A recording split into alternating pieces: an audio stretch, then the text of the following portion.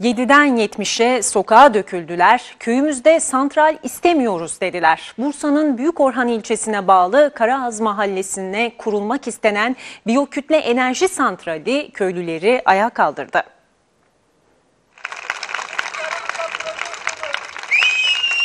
Bursa'nın yeşilliklerini korumak istiyoruz. Köyümüzü köyümüzde santral istemiyoruz. En önde kadın ve çocuklar, arkalarında bütün mahalle sakinleri.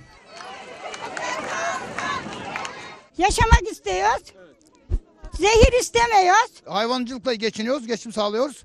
Onun için burada istemiyoruz öyle bir fabrika kurulmasını. Bursa'nın Büyükorhan ilçesine bağlı Karaağız mahallesi sakinleri bölgeye kurulmak istenen katı atık biyokütle enerji santraline karşı sokağa döküldü.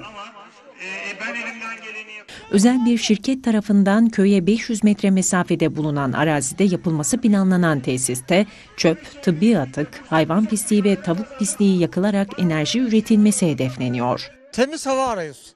Oksijen bak şu gördün ardıç oksijen yayıyor. Biz kömür işletmelerinden çalıştık. Nefes alamıyoruz. Buraya geldik. Emekli oldum. Nefes alıyorum. Zehir solumak istemediklerini belirten Karaağızlılar pankart ve dövizlerle sloganlar eşliğinde köy meydanından santralin kurulacağı alana yürüdü. 20 seneden beri bu ardışları biz büyütüyoruz. Koruma altına aldık. Şimdi buraya bu ardışların içine fabrika jeneratör kurulu mu ya? Ben bu köyümüzde zehir istemiyorum. Bu toprakta doğduk, bu toprakta ölmek istiyoruz. Bu yeşilliğimizi batırmak istemiyoruz.